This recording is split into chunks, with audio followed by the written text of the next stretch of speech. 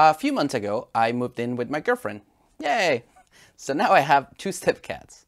This is Woodrow, and this is Teddy. I love them dearly, but Teddy can be really loud in the morning. He doesn't want attention, and he's not hungry. He has plenty of food, but what he wants is his more tasty wet food. He has always received it around 10 or 11, but recently he decided that he would like it as soon as he hears anybody get up. And that's not great because both my girlfriend and I have work in the morning, which often includes video calls. No, I'm not a cat. I realize that when I make a bigger noise than him, he stops. Meow. Sometimes just for a bit, but sometimes he just gives up completely. Meow. The problem with this method is that, well, I have to be there, and according to my research, if you correct your cats too much, they can start to resent you. So I decided to make a robot to correct him for me. I call it the Meow Deterrent. I found some commercial solutions, but things like this shock collar seem quite mean. This is not Electro Boom for cats.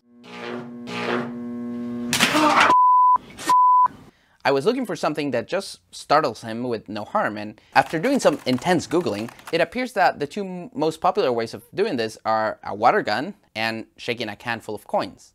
We're in a carpeted apartment, so I went with a can of coins. I tried a few different ways to make noise with a can and a motor.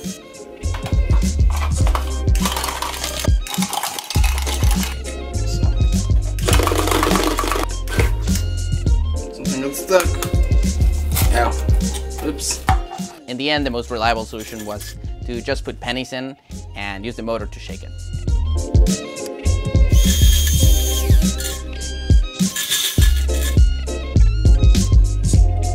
I built a little structure to hold the motor and can in place. I attached all of this to this metal piece from an old monitor base that uh, should be heavy enough to keep it in place, especially when I attach the battery. To control it from a distance, I got this remote and control it from Adafruit. It took me a little while to figure out how to make it work, but it turned out I was just using the wrong pin.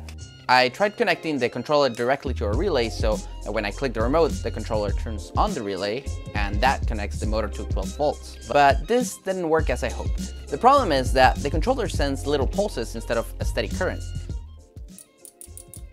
So the motor turns on in little sputters.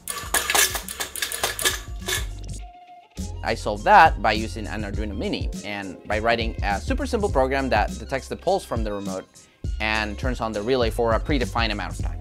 I first tried one second, but the motor went too crazy. Okay. I reduced that to half a second. That seems more reasonable. Now, I just needed to put it all together with batteries. Thankfully, I have this battery pack that has a 12 volt output for the motor and a USB port that provides 5 volts for the electronics. I'm only using the robot for a few days, so I didn't make an enclosure or solder the components. And the robot was done. so the way this is gonna work is that we give them the wet food consistently between 10 and 11, usually 10.30. But before that, I'll have the remote in hand and I'll try to be quick so that the shakes happen as soon as he howls.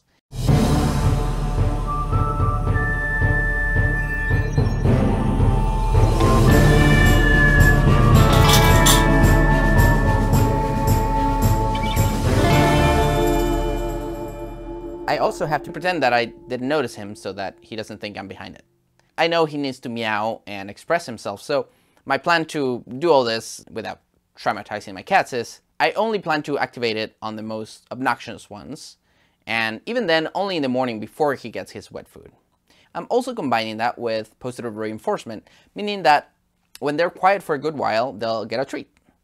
And lastly, I'm limiting the trial to one week. And of course, if either of the cats seems overly stressed or anxious, I'll stop. So that was the plan. Uh, let me show you what happened. The first day did not go so well, actually. Fell on Saturday, so I placed the robot by the bedroom and waited.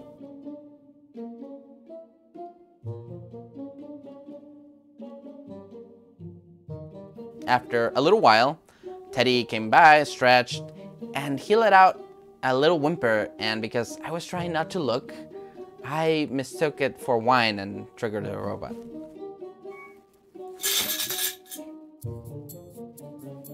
Not a good start. I know. It gets a little worse, though not for him. But after a while, he came back and checked out the robot.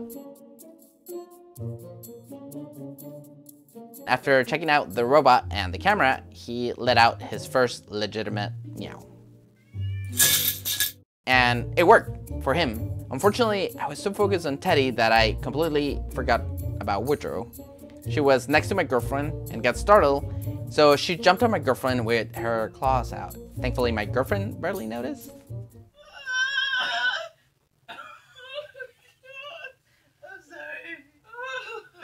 After that, Teddy cautiously checked the machine and then he kind of lost interest. I stopped the testing for the day and decided not to do it in the bedroom anymore because uh, it's kind of like their safe space, so I want him to feel good in the room. So for the next few days, I moved to the living room and it, it went much more smoothly. Whenever Teddy let out a big howl, me or my girlfriend pushed the button.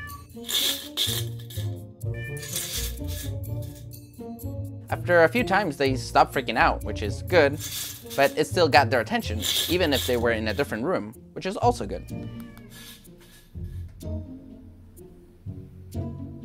And when they were quiet for a while, I gave them a few treats.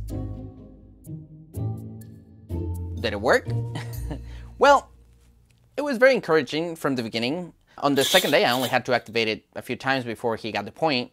And he meowed a few more times, but in a nicer way, and then he went quiet for a good while. So I gave him a treat. Uh, the same thing happened on the next couple of days, the third, fourth day. I only had to activate it once, I think. And then they got a treat for being nice and quiet. The fifth day, I had a video call. So I gave the remote to my girlfriend, and she said that they were really quiet and didn't need to use it at all, which is great. And then on the sixth day, it was kind of the opposite. Teddy was really loud, and it was earlier than his usual time of 10 or 11. So I activated the robot a few times, and that worked for a bit, but he started howling again. And uh, talking to my girlfriend, she said that the previous day, she actually ended up having a call that would go past their feeding time. And they had been so quiet that instead of feeding them late, she fed them earlier, like at around 9.15, which is fair enough. But with that, Teddy now decided that that was his new schedule to eat wet food. And since there was only a day on the trial week left, and I don't want to send him mixed signals, I just decided to stop the trial early and, and leave it at that. So I might try it again after we give him wet food at a consistent time, but for now, Teddy, you win this time. I hope that was interesting, and you can subscribe over here if you like. Otherwise, I'll see you in the next video.